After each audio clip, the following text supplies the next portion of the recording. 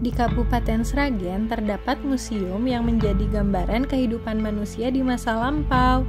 Museum Purbakala ini paling lengkap di dunia loh. Bahkan UNESCO sudah menobatkan museum ini masuk ke dalam situs warisan budaya dunia. Yuk ke museum virtual bareng jejak Revian dengan menonton video ini sampai akhir. Eits, sebelum nonton video ini jangan lupa di like, subscribe, komen, dan share ya. Hai hai, kali ini Revian masih explore Kabupaten Sragen. Kita mau mengunjungi salah satu tempat bersejarah di Sragen, yaitu museum. Tempat ini sangat terkenal di Indonesia, bahkan menurut laporan UNESCO menjadi tempat yang diakui oleh para ilmuwan untuk menjadi salah satu situs yang paling penting di dunia untuk mempelajari fosil manusia. Berbeda dengan museum pada umumnya yang terletak di pusat kota, museum ini berada di pedesaan dan jauh dari hiruk-pikuk perkotaan. Akses jalan menuju ke sana sudah bagus ya, jalannya beraspal dan tidak ada lubang sama sekali. Jalannya juga bisa dilalui dua mobil. Di kanan kiri jalan pemandangannya sangat indah dan asri. Memasuki kecamatan Kalijambe dan sampailah di area wisata museum. Parkirannya luas banget ya guys, bisa banget ke sini bawa rombongan bis. Nah, museum ini sangat memberdayakan warga lokal loh. Tempat parkiran sengaja dibuat lumayan jauh dari museum dan pengunjung wajib menaiki kendaraan yang disediakan pihak museum. Tenang aja, ongkosnya murah kok, hanya 3000 per orang. Jadi untuk pulang pergi cukup membayar 6000 rupiah.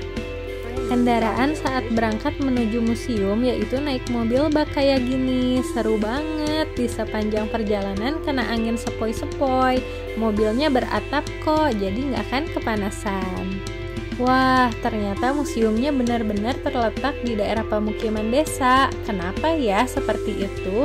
Lanjut nonton video ini sampai akhir untuk nemuin jawabannya ya. Ini dia Museum Manusia Purba Sangiran. Let's go, kita masuk. Museumnya buka dari hari Selasa sampai Minggu. Untuk harga tiketnya murah banget, cuma bayar 8.000 untuk wisatawan domestik dan 15.000 untuk wisatawan mancanegara. Ih, suasananya masih alami ya. Di kanan kirinya dipenuhi pepohonan tinggi. Dari pintu masuk di sebelah kiri banyak pedagang lesehan menjual aneka oleh-oleh khas Sangiran. Museum Purbakala Sangiran adalah museum arkeologi yang terletak di Kalijambe, Kabupaten Sragen, Jawa Tengah. Museum ini sengaja dibangun di wilayah pedesaan karena berdekatan langsung dengan area situs fosil Purbakala Sangiran. Situs Sangiran memiliki luas mencapai 56 km persegi meliputi tiga kecamatan di Sragen yaitu Gemolong, Kalijambe, dan Plupuh serta kecamatan Gondang Rejo yang masuk di wilayah Kabupaten Karanganyar. Situs Sangiran ini berada di dalam kawasan Kubah Sangiran yang merupakan bagian dari Depresi Solo, yaitu terbentuk akibat aktivitas tumbukan lempeng tektonik di kaki Gunung Lawu. Sejak ditetapkan sebagai warisan dunia oleh UNESCO pada tanggal 5 Desember 1996, kawasan ini tidak hanya menjadi aset penting bagi pemerintah Kabupaten Sragen dan Indonesia, tetapi juga bagi dunia. Let's go, kita lihat koleksi fosil purbakalanya. Di museum ini terdapat tiga ruang pameran. Sebelum memasuki ruang pameran satu, kalian bisa foto-foto dulu di jembatan Sangiran ini dan berburu oleh-oleh khas Sangiran. Di ruang pamer satu, kalian akan menemukan kekayaan Sangiran. Di sini dijelaskan bagaimana asal mulanya kubah Sangiran terbentuk dan alih rupa alam Sangiran. Dinamika alam Sangiran seluruhnya terekam dan berjejak dalam lapis-lapis tanah dan dinamai Kalibeng, Kucangan, Greensbank, Kabuh, dan Notopuro.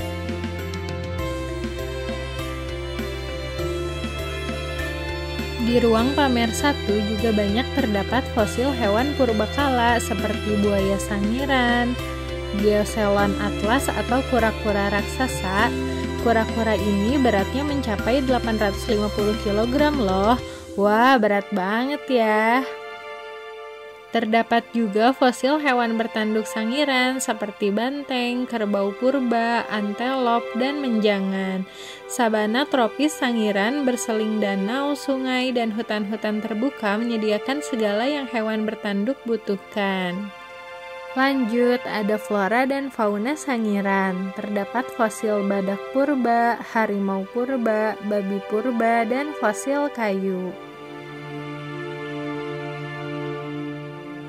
2,4 juta tahun yang lalu sebelum daratan terbentuk, seperti bagian Jawa lainnya, permukaan Sangiran masih tertutup lautan, hingga pergerakan lempeng benua, turunnya muka laut, dan aktivitas gunung api menjadikan Sangiran daratan sepenuhnya 800.000 tahun silam. Selain fosil ikan dan penyu, bermacam siput dan kerang diduga pernah mendiami Laut Sangiran. Nah, ini spot favorit pengunjung yaitu evolusi hominin. Evolusi ini menjelaskan perjalanan menjadi manusia yang membuat pendahulu kita berbeda dari primata lainnya.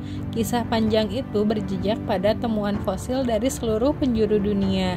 Kayaknya evolusi ini didukung oleh teori Charles Darwin ya, guys. Teori Darwin mengatakan bahwa tidak mustahil manusia telah mengalami evolusi dan beranggapan manusia mungkin berevolusi dari kera. Apakah kalian setuju dengan teori ini? Tulis jawaban kalian di kolom komentar ya. Di replika manusia purba ini sering dijadikan tempat untuk berfoto juga loh. Temuan selanjutnya yaitu kuda sungai purba atau sekarang dikenal dengan nama kuda Nil. Rangka kuda Nil ini berusia 1,2 juta tahun. Next, ada fosil Homo erectus. Homo erectus diduga menjadi pendahulu terakhir sebelum berevolusi menjadi manusia modern. Hidup pada masa 1,8 juta sampai 200 ribu tahun yang lalu, spesies ini lahir di Afrika Timur, kemudian bermigrasi ke seluruh dunia termasuk Jawa. Ada pula budaya Homo erectus pada masa itu, yaitu menggunakan alat batu masif yang berukuran besar dan tebal, dan alat batu non-masif yang berukuran kecil dan tipis. Yuk, mari kita lanjut menuju ruang pamer 2. Bangunan museum ini unik loh guys, dari luar terlihat kecil tapi ternyata di dalamnya terdiri dari banyak ruangan. Oh iya, ruang pamernya juga bersih dan nyaman, juga dilengkapi AC. Di ruang pamer 2, kalian akan mengetahui langkah-langkah kemanusiaan. Hah, maksudnya gimana tuh langkah-langkah kemanusiaan? Yuk, tonton terus video ini sampai akhir biar kalian gak ketinggalan pengetahuan. Oh, ternyata di sini dijelaskan bagaimana awal mula pembabakan bumi dan masa-masa prasejarah. Dimulai dari masa Paleozoikum 570 juta sampai 250 juta tahun yang lalu. Di masa ini ditemukan sponge, moluska, cacing, dan hewan-hewan tak bertulang belakang. Lanjut ke masa Mesozoikum 225 juta sampai 66,5 juta tahun yang lalu. Di masa ini bumi berubah wujud, daratan membesar, laut meluas, makhluk hidup berkembang membesar. Inilah era serba raksasa yaitu masa dinosaurus. Terakhir yaitu masa Kenozoikum sampai sekarang. Di masa ini iklim berubah-ubah secara drastis Inilah babak mamalia dan di sinilah evolusi manusia dimulai. Di ruang pamer 2 juga dijelaskan mengenai proses evolusi menuju manusia modern, proses terbentuknya fosil, nama-nama ahli sejarah yang mencetuskan teori evolusi, dan timeline penemuan fosil dari tahun 1786 sampai 1993. Penelitian tentang manusia purba dan binatang purba di Sangiran diawali oleh GHR von Königswald, seorang ahli paleoantropologi dari Jerman yang bekerja pada pemerintah Belanda di Bandung pada tahun 1930-an. Beliau adalah orang yang telah berjasa melatih masyarakat Sangiran untuk mengenali fosil dan memperlakukan fosil yang ditemukan dengan benar. Mengingat pentingnya hasil temuan di kawasan Sangiran tersebut, pada tahun 1977 Sangiran dan sekitarnya ditetapkan sebagai daerah cagar budaya. Oh iya, di ruang ini juga terdapat tulang belulang gajah purba usia 500 ribu tahun.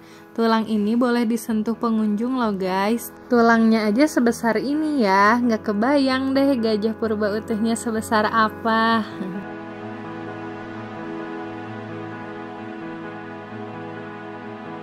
Next, kita ke kehidupan kala Pleistosen bawah 1,8 juta sampai 800 ribu tahun yang lalu. Di ruang ini dijelaskan segala hal mengenai manusia purba, seperti kemunculan manusia purba, cara berburu dan bertahan hidup, juga alasan mengapa manusia purba punah. Selanjutnya ada gambaran kehidupan kala Pleistosen tengah dan akhir, di Pleistosen Tengah, manusia purba sudah mulai mengerti cara berburu hewan meskipun masih memakan daging mentah. Dan di Pleistosen akhir, peneliti mulai menemukan fosil-fosil hewan dan manusia purba. Next, kehidupan manusia setelah zaman es terakhir di 20.000 sampai 5.000 tahun yang lalu. Di zaman ini mulai ditemukan tulang belulang manusia utuh.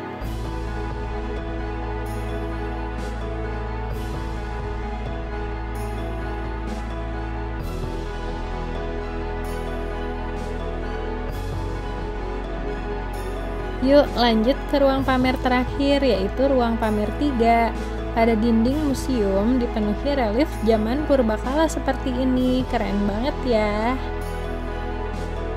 Di ruang pamer 3, kalian akan mengetahui masa keemasan Homo erectus pada 500.000 tahun yang lalu. Sampai saat ini, sebanyak 50 individu fosil manusia purba Homo erectus atau manusia yang berjalan tegak telah ditemukan. Jumlah ini mewakili 65% dari fosil Homo erectus yang ditemukan di seluruh Indonesia atau sekitar 50% dari populasi Homo erectus di dunia. Tentunya kita sebagai warga negara Indonesia harus bangga dengan kekayaan sejarah yang kita miliki berpengaruh bagi sejarah dunia. Di ruang pamer 3 juga terdapat ruang diorama atau benda tiga dimensi yang menggambarkan suatu pemandangan atau suatu adegan pada masa keemasan Homo erectus. Selain itu, dihadirkan manekin tengkorak S17 dari Sangiran dan manusia liang buah dari Flores. Terdapat berbagai pesan mengenai Museum Sangiran juga dari orang-orang petinggi di Indonesia dan para peneliti dari luar negeri. Oh iya, hingga tahun 2019 telah ditemukan sekitar 13.685 fosil pada situs Sangiran dan hanya 2.931 fosil yang ditampilkan di museum. Wah, pantas aja UNESCO menobatkan Sangiran sebagai situs purbakala terlengkap di dunia ya.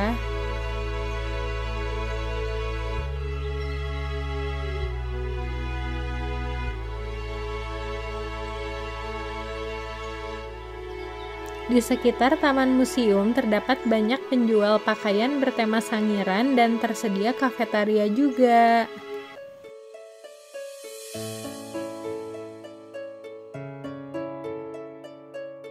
Di dekat gerbang masuk, di kanan kiri jalan juga dipenuhi toko souvenir dan oleh-oleh. Ada gantungan kunci tengkorak, kapak batu, kaos-kaos bertuliskan sangiran, dan pernak-pernik dari batuan.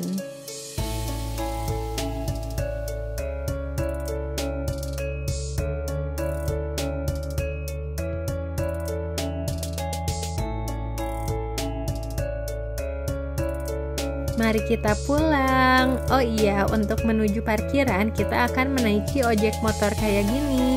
Ongkosnya sama ya, hanya 3000 per orang.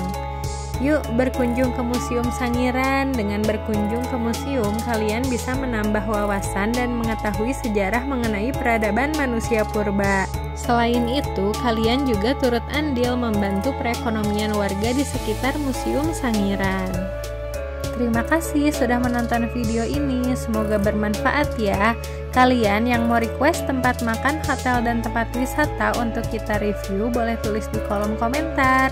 Jangan lupa pencet tombol like, subscribe, dan share-nya biar kita makin semangat untuk buat konten video. See you!